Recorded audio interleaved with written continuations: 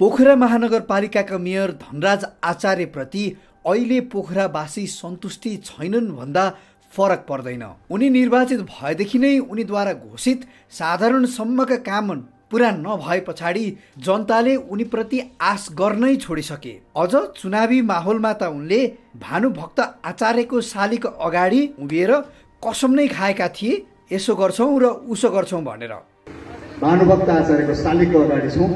संयोगले उहाँको नाति पनाति खलाती के पर्छ होला अर्को आचार्य उहाँको अगाडि बसेर तपाईँहरूको अगाडि प्रतिबद्धता जाहेर गर्न लागिरहेको छ। हामी निर्वाचित भए पछाडि पहिलो काम म भन्ने भन्दा कुराबाट उठेर हाम्रा सबै क्रियाकलापहरूलाई हामी हामी भन्नेबाट सुरु गर्नेछौँ यो हाम्रो पहिलो प्रतिबद्धता हो।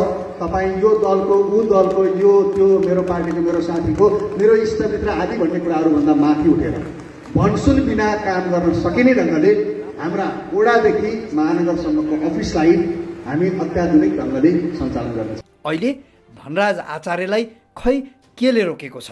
दुई वर्ष पुरा हुन लाग्दा पनि उनीद्वारा घोषित र सुरुवात गरिएका कुनै पनि काम पुरा हुनै सकेका छैनन्। पछिल्लो समय उनी वैदेशिक भ्रमणमा व्यस्त छन्। त्यो व्यस्तता पोखरा बनाउन हो या धनराज आचार्यलाई बनाउन हो उनै जानुन् तर जनता भने असन्तुष्टि छन्। मेयर धनराज आचार्यले असी सालभित्र फेवा संरक्षणको खाका तयार पार्छु भनेर भनेको एक वर्ष भइसक्यो। असी साल कटेर एकासी आउन लागिसक्यो। अह फेवातालतिर अहिले उनी फर्कन पनि चाहन्नन्। उनलाई सर्वोच्चले दिएको आदेश नै उनका लागि पासो सरह भएको छ। फेवताल भन्दा उपल्लो भाग पामेका जनता रुष्ट छन्। हामीमाथि सौतेनी व्यवहार गर्यो भनेर बारम्बार उनीहरू भनिरहेका छन्। जनताले अराएको काम गर्दा युवराज खतिवडालाई भूमाफियाको ट्याग नै लगाइदिए पोखरा महानगरपालिकाका मेयर धनराज आचार्यले। भाग पुरिएको भाग पुरिएको यताको भाग नै पुरिएको छ। यो माटो हाल्न थालिएको छ। अब यसले पुरुन्जेल कानुन लाएन त्यसले पुरुन्जेल कानुन लाएन। यो आवासीय जमिन हो त्यसले पुरुन्जेल कानुन लाएन त्यसले पुरुन्जेल कानुन लाएन। त्यसले पुरुन्जेल हजारौँ रोपनी पुरुन्जेल कानुन लाएन। त्यो कसले दिएको? पोखरा महानगरपालिकाले अनुमति दिएको। अब यसले चाहिँ अनुमति नपाउनु कारण के त? अनुमति माग्न जाँदा अनुमति नदिने त्यसपछि फेवाताल भन्ने सिमसार भन्ने। पानी देश फेवाताल हुन्छ। तपाईँ मेयर साहबलाई थर्काइदिनु रहेछ यसरी। किन थर्का हो र? आफ्नो अधिकार माग्दा थर्का हुन्छ र? अनि तपाईँ मिल्न कहिले जानु भएन र भन्ने कुरा छ त? मिल्न त म कानुन विपरीत भएको म मिल्न जाने। मिल्न जानु पर्यो के छ? म नमिले कहाँनिर र। अनि तपाईँ यही फेवातालै यही पुर्ने पर्छ भनेर किन अन्त जग्गा छैन पुर्ने अनि यो फेवाताल हो र भने? अनि यो फेवाताल किन पुर्निँदैन फेवाताल हो भने पुष्टि गरिदिनु पऱ्यो नि त अनि व्यक्तिको जमिन हो त यो। अनि फेवाताल हो भने कहाँनिर छ फेवाताल ऊ त्यो चाहिँ किन फेवाताल भएन? ऊ त्यो चाहिँ किन भएन? ऊ त्यो चाहिँ किन भएन? यो ऊ त्यो चाहिँ किन भएन? ऊ यो चाहिँ किन भएन? यतापट्टि किन भएन? अनि यो कसरी हुन्छ? समान प्रकृतिको जमिन हो यो। भनेपछि तपाईँ भोलिबाट पुर्दै हुनुहुन्छ। मैले केही दिनमा पुर्दैछु भोलिबाट नले केही दिनमा मेरो चाहिँ प्राविधिक कुराहरू मिलाएर मैले ल्याएर यहाँ पुर्ने कुरा निश्चित हो। हो प्राविधिक कुरो हाम्रा गाडी घोडा अब टिप्पर डोजर सबै कुराहरू चाहिँ तयारी हुनु पऱ्यो नि त। त मान्छे नि किन्छ भन्छ नि त। होइन मान्छे किनेर किनिन्छ र कोही। म त कसैले किनेर किनेर बेचेर बेचिने होइन। मलाई त दमन गरेर पनि अन्यायको विरुद्धमा लड्ने मान्छे हो। मलाई यहीँ ल्याएर गाडी पनि म पुर्ने हो। तपाईँ त फेसबुकमा पनि कडा कडा स्ट्याटस राख्नुहुन्छ। फेसबुकमा स्टार अन्याय परेको कुरा बोल्ने कुरा त अहिले सामाजिक सञ्जालमा भन्न पाउने कुरा त अधिकार हो नि त। मैले कुनै गलत बोलेको छु भने मलाई दण्डित गरियोस् न। युवराज आगो हो नछौ। हो म आगो हो नचलाऊ मलाई। साँच्चै नै युवराज आगो हो? साँच्चै नै हो। नछौ। मैले यो काम गरेर छोड्ने हो। यसमा जसले जे भने पनि यो जमिन यो कस्तो प्रकृतिको जमिन हो भन्ने कुरा मालपत कार्यालय कास्कीले भनिसकेको छ। त्यसको आधार यो चाहिँ के आवासीय जमिन हो? यो महानगरपालिकाले वर्गीकरण गर्दाखेरि त्यस भएको हुनाले यसमा हाम्रो अधिकार हो पूर्ण पाउने। घर बनाउनु पाउने उद्योग हराउनको लागि र जिताउनको लागि होइन कि यो पूर्ण पाउनु पर्छ कानुन त भन्ने विषयलाई लिएर तपाईँ यो पुर्दै हुनुहुन्छ। हामीलाई किन हराउनु र जिताउनु छ भने आफ्नो अधिकार माग्दा हार्ने जित्ने हुन्छ। हुँदै हुँदैन। नि त। कसैले पाउने कसैले नपाउने यस्तो नि हुन्छ। ए भनेपछि अरूले पुर्न पाएको छ नि नपा भयो यो के गरे त यो के गरे त्यो के गरे ऊ त्यो के गरे ऊ त्यो के गरे ऊ त्यो के गरे ऊ त्यो के गरे यो के गरे यसले किन नपा त ए भन्न खोजिया अहिलेसम्मको कुरो कुरो कुरो यहाँ आयो अरूले पुर्दा पायो युवराजले पुर्दा नपाएको नपाएको हो। भन्ने कुरा हो। हो। यदि यहाँ अरू कसैले पुर्न आयो भने पाउँछ भन्ने कुरो तपाईँको कुरा हो। खोइ नत्र भन्दा यो के गरे त? खोइ तपाईँहरूको यो क्यामेराले छायाङ्कन गर्दा के देखिन्छ यो? ए यो उताको तपाईँले पुर्यायो होइन। होइन। यहाँ त के छ भने सबै यो फेवाताल युवराजले पुर्यो भन्ने कुरो त्यो तथ्यमा जानु पर्यो नि त प्रमाणमा हेर्नु पर्यो। म त भन्छु उहाँहरूले पुर्दैन केही भन्नु हुँदैन। उहाँहरूको पनि आवासीय जमिन छ त। आवासीय अर्थ के हो? घर आबादीको अर्थ के हो? त्यो त पक्कै पनि नगरपालिकाले बुझेर नै बनाएको होला। नगरपालिकाले आवास भनेर बनाउने। अनि नगरपालिकालाई चित्त नगएपछि हुँदैन भनेर हुन्छ। सन्तान जन्मेपछि अधिकार खोज्छ अंश खोज्छ। सन्तान जन्मदिएपछि त्यसलाई कर्म दिनुपर्छ। हस् धन्यवाद। ल हेर्नु होला तपाईँहरूले। यो भाग यो भाग हामीले पुर्दा पुर्दै रोकिएको यो मैले पुरेको यो पुरे बापतको मलाई दण्डित गरिदिनु पऱ्यो नि त। मैले भनिरहेको छु त यो मैले पुरेको यो माटो हाले बापतको मलाई न- दण्ड सजाय दिनुहोस् म त भनिरहेको छु ल हेर्नुहोस् यहाँ अब यो तपाईँहरूलाई एउटा कुरो भनौँ। हेरी यहाँ हेर्नु त। कलरले पनि चिनिन्छ कि? फेरि यतापट्टिको चाहिँ मैले पुरेको पोहोर। अब यो चाहिँ कसले पुऱ्यो मलाई थाहा छैन। यहाँ बाँध्नु लाग्छ अब यहाँ चाहिँ नपाउने भन्ने नि हुन्छ। ए भनेपछि यो तपाईँले पुरेको होइन यो माथि यो चाहिँ अहिले हामी हिँडेको ठाउँ चाहिँ हो तर यो झार उम्रेको होइन। यो पुर्दा आनन्द भयो? यो पुर्दा कोही आएन? कसैले केही गरेन? हेर्नु न हेर्दै देखिन्छ त। अब तपाईँको यहाँबाट उता पाउने यता नपाउने यस्तो हुन्छ। फेरि उता नि पाउने तल नि पाउने। ऊ तल नि पाउने तलसम्म हेर्दा ऊ उता नि पाउने। यो अन्याय भएको छ? सम्बन्धित ठाउँमा आफू गएर फिल्ड अवलोकन नगरिकन मेयरले मनगन्त्य शैलीमा भनेका कुराले गर्दा स्थानीयहरू असन्तुष्टि छन्। कुर्सीमा बसेर तालमा खुट्टा हल्लाएर पानीमा छ्याप छ्याप पारेर खाँदाखेरि तपाईँहरू नदेख्ने फेवाताल नभन्ने। अँ, फेवाताल नभने मेरो जग्गालाई चिठी बनाइदिनुहोस् ब्याङ्कले चिठी माग्दाखेरि सिमसार कति हो त खोलाको मापदण्ड कति भन्दाखेरि लेख्न नसक्ने तपाईँहरू। त्यस्तो स्थिति थियो र जनतालाई दुःख दिइरहेको छ सरकारले। यिनीहरूलाई दुःख दिने मात्रै मेसो हो यिनीहरूको अरू केही पनि छैन। विकास हुन्छ भनेर रोक्ने र तलैतिर सकभर मान्छे उतै खिचेर ततै तलै रोकेर राख्ने माथितिर नपठाउने। उनीहरूको नियतै त्यही हो लेक साइडतिर पनि लेक साइडमा तालको के कति मिटरमा गर्छ त्यहाँ त रसायन नजाने हाम्रो यहाँ त रसायन जान्छ। पाँच किलोमिटर माटा नमस्ते। विगत केही वर्ष अगाडिदेखि पोखराको पामे पोखरा महानगरपालिका वडा नम्बर अठारमा पोखरा महानगरपालिकाले वर्ष्यौनी भन्दै गरेको। फेवाताल पुर्यो सिमसार पुर्यो भनेर जुन म माथि लाग्ने गरेको आरोप छ। त्यो आरोप चाहिँ कुनै लुकाइ छिपाइ छैन। म यहाँहरू सबैलाई आज यो विभिन्न टेलिभिजनहरू हेरेर बसिरहनु भएका सम्पूर्णलाई म आग्रह गर्न चाहन्छु। तपाईँहरूको यो क्यामेरा तेर्साइदिनुहोस् हेरी यो भाग सबै। माटो पुरेर सबै जमिनहरूलाई बनाइएको यो भागमा मैले पुर्न लागेको सत्य हो। म पुर्ने हो यसपालि पनि। मलाई यो पुरै बापतको उहाँहरूले दण्डित गर्ने कुरा उहाँहरूले मलाई चाहिँ कानुनी कारवाही गर्ने कुरा म सहन तयार छु। यतापट्टि हेर्नु होला यतापट्टि पनि पुरिएको छ। त्यो मात्र यतापट्टि पनि ऊ उहाँसम्म उता चाहिँ सबै पुरिएको छ। यो जमिन हो छ यो बाटो फेवाताल कहाँ हो भन्ने कुरो तपाईँहरूको क्यामेरा कसैले पनि यहाँबाट देखिँदैन। फेवातालबाट पाँच किलोमिटर माथि छ। तर फेवातालको नाममा पोखरा महानगरपालिकाले कति दिन गर्ने राजनीति? यो व्यक्तिको जमिन हो। यो महानगरपालिकाले वर्गीकरण गर्दाखेरि आवश्यक भनेको छ। कास्की जिल्ला मालपोत कार्यालयमा जाँदाखेरि यो जमिनको प्रकृति हेर्दा घर आबादी भनिएको छ। यो आवासको हिसाबले यहाँ उद्योग धन्दा कल कारखाना सबै सञ्चालन गर्न पाउने अधिकार नागरिकको छ। उहाँहरूको जमिनको अधिकार एउटा यो पामेबाको जमिनको अधिकार अर्को हुन सक्दैन। समान प्रकृतिको जमिनको समान कानुन समान न्याय हुनुपर्ने हो भएन। यो किन भएन भन्दा यो व्यावसायिक एउटा लडाइँ हो। उहाँहरूका मान्छेहरूलाई प्रक्षेपोषण गरिदिनु पर्ने हो कि? उहाँहरूका मान्छेलाई चित्त बुझाइदिनु पर्ने हो कि? हामीले चाहिँ उहाँहरूलाई चाहिँ पुज्न पर्ने हो यो हामीलाई थाहा छैन। तर एउटा कुरा यो सत्य हो म यो ठाउँमा यी पोहोर पुर्दा पुर्दै छोडेको यसपालि पुर्ने हो। माटो पुरे बापत। यहाँ काम गरे बापत। मर्न पर्छ भने हामी मर्न तयार छ।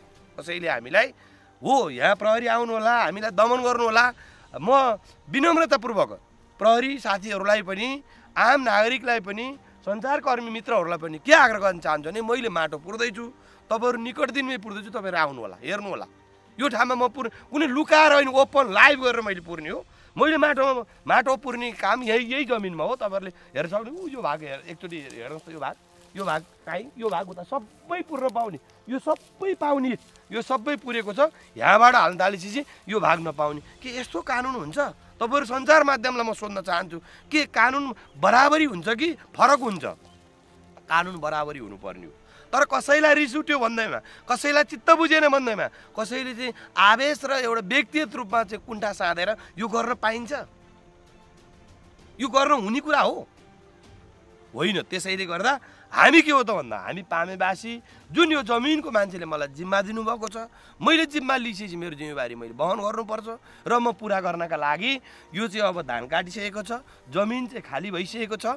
अब अर्कोचोटि यसलाई धान लाउन सक्ने अवस्था छैन हेर्नुहोस् यहाँ। लाएर अब यो जमिनलाई अलिकति अग्लो बनाउँछु र म खेती गर्छु भन्ने के अपराध हो? यो जमिन र यो जमिन समान प्रकृतिको जमिन छ। उसले पाउने यसले नपाउने हुन्छ। एउटै परिवारको जग्गामा जेठोले घर बनाइसक्यो जेठोले धान लगाएको छ कान्छो र माइलोले पाउँदैन।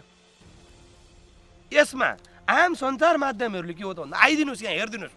मैले माटो पुऱ्यो तपाईँहरूले सिमसार पुऱ्यो फेवाताल पुऱ्यो भन्नुहुन्छ आएर हेरिदिनुहोस्। म तपाईँहरूलाई बोलाउन चाहन्छु। सम्पूर्ण मिडियाहरूलाई म भन्छु यहाँ आएर हेरिदिनुहोस्। साँच्चै मैले फेवाताल पुरेको हो मलाई त्यहीँबाट हत्कडी लगाइदिनुहोस् साँच्चै मैले सिमसार पुरेको मलाई त्यहीँबाट हत्कडी लगाइदिनुहोस् कागज हेरेर प्रमाण हेरेर तथ्य हेरेर। साँच्चै मैले आवासीय जमिन पुरेको भने कि त यो जमिनलाई आवासबाट सिमसार बनाएको? एक घन्टामा म यो सिमसार पुर्दिनँ। एक घन्टामा म चाहिँ मेरो काम गर्दा गर्दैको ल्याउँदा ल्याउँदैको टिपरको चाहिँ आधा खसालेको छ भने आधा म फिर्ता गरेर लान्छु। उहाँहरूले कि त त्यो त सिमसार हिजो सिमसार थियो भने आवास कसले बनायो मैले बनाए हो। मेरो इन्ट्रेस्टमा बनेको हो। होइन नि त। भने कसैको हुने कसैको नहुने यो विभेदकारी निर्णय छ। यो विभेदकारीका निर्णयको विरुद्धमा आम पोखरेलीवासीहरूले बुझ्नु जरुरत छ। यसका लागि तपाईँहरूले एउटा कोठामा बस्ने र सिमसार पुऱ्यो फेवाताल पुऱ्यो भन्ने काम प्लिज नगरिदिनु होला। सत्य तथ्य बुझिदिनु होला। सत्य तथ्य नबुझिकन कोही माथि लगाएको आरोप चाहिँ के हो त भन्दा फेवाताल पुर्दा पुर्दै सिमसार पुर्दा पुर्दै टिप्पर समातेँ। कतिवटालाई पक्राउ गरेँ यतिवटा गाडी समातेँ भनेर बहादुरी हुँदैन। म कर्म गर्न आएको कर्मवीर हो। म काम गर्न छोड्दिनँ। कि त मलाई भन्नुहोस् मलाई मारिदिनुहोस् गोली हानिदिनुहोस्। बाली तपाईँले पुर्ने नै हो। पूर्णी नै हो मैले। एक दुई तिन पूर्णी नै हो। पूर्णी कुरा मेरो कुनै दुईमा छैन। कि त उहाँहरूले यो आवासलाई सिमसार बना- बनाउनु पर्यो? होइन भने आवास भनिसकेपछि यहाँ घर बनाउनु पाउनुपर्छ। पूर्णी कुरै होइन। यहाँ उद्योग धन्दा राख्न पाउनुपर्छ। कल कारखाना स- सञ्चालन गर्न पाउनुपर्छ। म प्रश्न गर्न चाहन्छु। के यो यो मानेमा चाहिँ पोखरा महानगरपालिकाका मेयर धनराज आचार्य र तपाईँको के हो?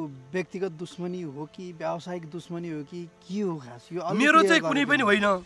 म आफ्नो बाटोमा हिँड्दै आउँदा उहाँहरूले मलाई देखिसकेपछि तगारो हाल्नुहुन्छ भने त त्यो तगारो हाल्नु कारण चाहियो। नत्र त म त म यो तगारोमा म चाहिँ अगाडि बढ्ने मान्छे हो।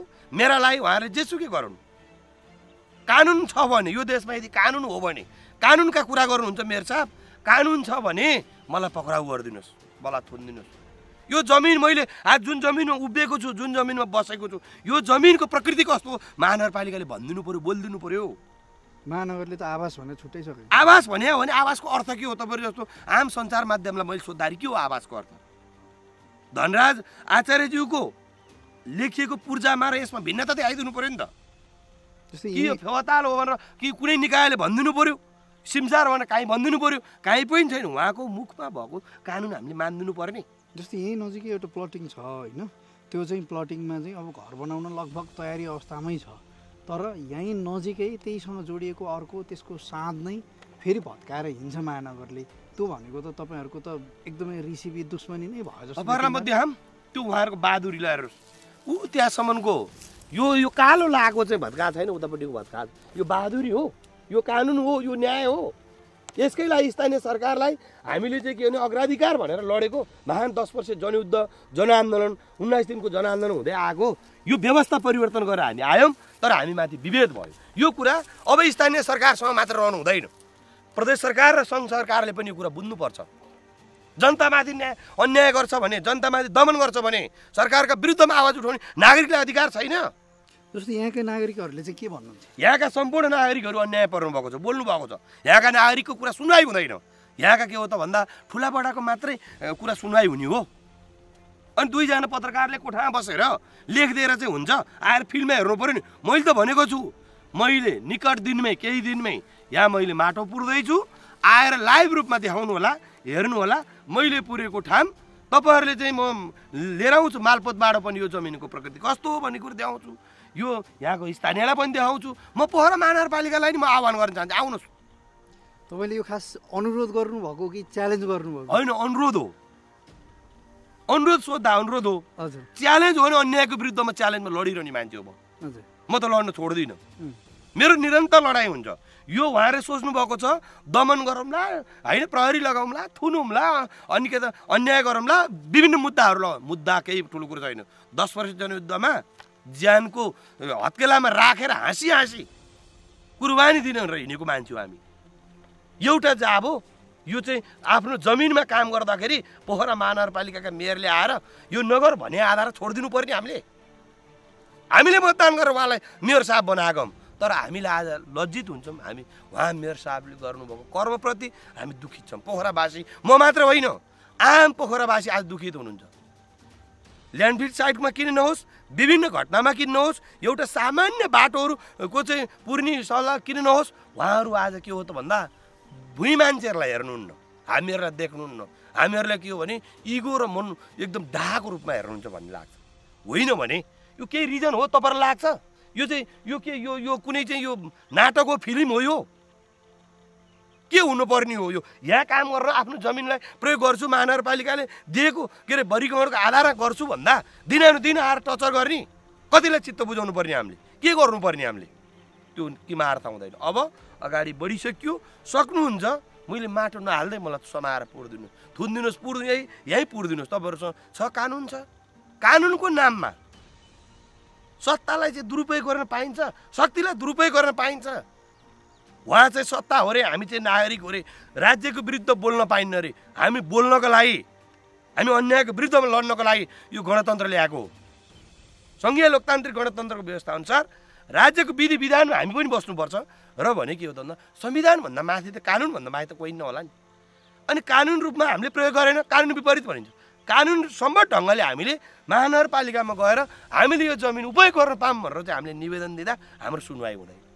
के गर्नुपर्ने? त्यहाँको कर्मचारीलाई दिनकै ढोग्नु पर्ने नमस्कार गर्नुपर्ने हामी नमस्कार पनि गरिदिन्छौँ। तर हामी अन्य कुरा गर्दैनौँ। हाम्रो आफ्नो जमिन हो। हामी कसैलाई कुनै किसिमको चाहिँ कसैलाई हामी केही दिन सक्दैनौँ केही लिन सक्दैनौँ। हामीले कानुन सम्बद्ध ढङ्गले हामीले मागेका अधिकारहरूबाट वञ्चित गरिदिने अनुमति दिने निकाय उहाँहरू अनुमति नदिने उहाँहरूको मन लागेको मान्छेलाई उहाँहरूको चित्त बुझेको मान्छेलाई इच्छा लागेको मान्छेलाई अनुमति दिने अनि हामीलाई अनुमति नदिने अनि कानुन विपरीत भयो भनेर अनि पक्राउ गर्ने हामीलाई मुद्दा चलाउने के यो न्यायचित हो? म त यो पामेवासीको भाग्य वीरता हो। भाग्य र भविष्यको लागि लड्दैछु। एउटा मेरो आन्दोलन हो। यो आन्दोलन झिल्को हो आगो बलिसक्यो यो परालको टाउमा आयो सल्किया सरा हुनेछ। यो कसैले छेकेर रोकेर रोकिँदैन। यसमा त के हो त म अहिले पनि विनम्रतापूर्वक आग्रह गर्न चाहन्छु। पोखरा महानगरपालिकाको मेयर साहब धनराज आचार्यज्यू धनराज आचार्यज्यू मेयर साहब तपाईँले बुझ्नु भएन तपाईँलाई कसले लह लयमा तपाईँलाई लगायो? तपाईँ सत्य र तथ्यको रूपमा बुझेर यो ठाउँमा दिने यो ठाउँमा नदिने भनिदिनुहोस्। अहिले गयो भने अब उहाँले भन्नुहुन्छ एक वर्ष दुई वर्ष अगाडिदेखि के हेरेर बस्नु भएको कार्यविधि बनाउँछु भन्नुहुन्छ खोइ कार्यविधि? के हो कार्यविधि भने?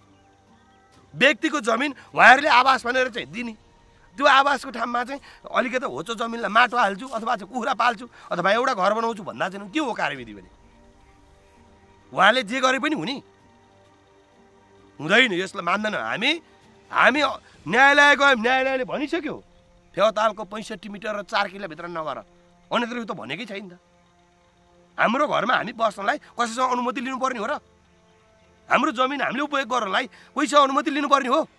धान लाउन नै अनुमति चाहिन्छ भन्नुहुन्छ उहाँले। त्यसो त्यो भन्नुहुन्छ। हामीले संवैधानिक अधिकार प्रयोग गरेर हामी गएर पोखरा महानगरपालिकासँग अनुम अनुमति माग्दाखेरि हामीलाई अनुमति दिइन्न। र हामीलाई के भन्छ? कानुन विपरीत भनिन्छ। कानुन विपरीत के आधारमा भयो? कानुन विपरीत उहाँहरूले गर्नुभयो। यदि साँच्चै सिमसार थियो भने आवास बनाएको कानुन विपरीत उहाँहरूले गरे हो। हामीले गरे हो त्यो त्यो रातो कलम हाम्रो चल्छ। हामीले चला होइन। त्यो पोखरा महानगरपालिकाले गरेको।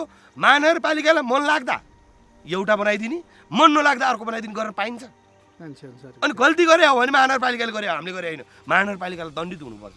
कानुन छ विधि छ पद्धति छ भने। होइन भने नागरिकलाई दुःख दिन पाइँदैन। युवराज खतिवटा त एउटा प्रतिनिधि पात्र हो। युवराज खतिवटा त हो फिल्डमा आएको छु। मैले त भनेको छु मेरो यो आन्दोलन कसैले रोकेर छेकेर छेकिँदैन मैले भनेको छु। मलाई कसैले केही गर्नु पर्दैन। तपाईँहरूलाई म ओपनली देखाएर लाइभ गरेर म यहाँ माटो पुर्दै हो। यसको लागि चाहिँ भनिदिनुहोस् सबै निकायलाई। यो प्रधानमन्त्री कहाँ पुग्नुपर्छ? गृहमन्त्री कहाँ पुग्नुपर्छ? विभिन्न मन्त्रालयमा पुग्नुपर्छ? विभिन्न कुटनीतिक नियोगमा पुग्नुपर्छ? होइन न्यायालयमा पुग्नुपर्छ? के अरे चाहिँ पोखरा महानगरपालिकामा पुग्नुपर्छ? यहाँका वडा प्रतिनिधिहरूले बुझ्नुपर्छ? आफ्नो हिजो जनतासँग यहीँको वडा वडा अध्यक्ष वडा सदस्यहरूले भोट माग्नुभयो। आज यो जनतालाई अन्याय पर्दा बोलिदिनु पर्दैन। मेरो नाम कुलप्रसाद तिविल सिन्हा वडा नम्बर अठार चङ्कपुर मेरो बसोबास। अब हाम्रो यो एकानब्बे सालदेखिबाट चाहिँ तिरो चलिआएको जग्गा भोगचलन पनि भइराखेको बत्तिस सालको नापी नक्सामा पनि हाम्रो चाहिँ पूर्जा प्राप्त भएको। अहिले चाहिँ नि आएर फ्यातालको चाहिँ नि सिमसागर क्षेत्र भनिएको हुनाले अब हामीले चाहिँ नि यहाँ केही घर बनाउन नि नपाउने आवास बनाउन नि नपाउनु यस्तो चाहिँ नि शासन लगाइदियो। आएर जग्गामा फिल्डमा आएर पनि नहेरिदिने कहाँसम्म हुने कहाँसम्म नहुने यसको चाहिँ नि निर्धारितै भएन। यसको सीमा निर्धारित भएन। जनतालाई यसरी चाहिँ नि अल्मा ल्याउनु भएन। कुरा बुझ्नुभयो त अल्मा ल्याउनु भएन नि यसरी त।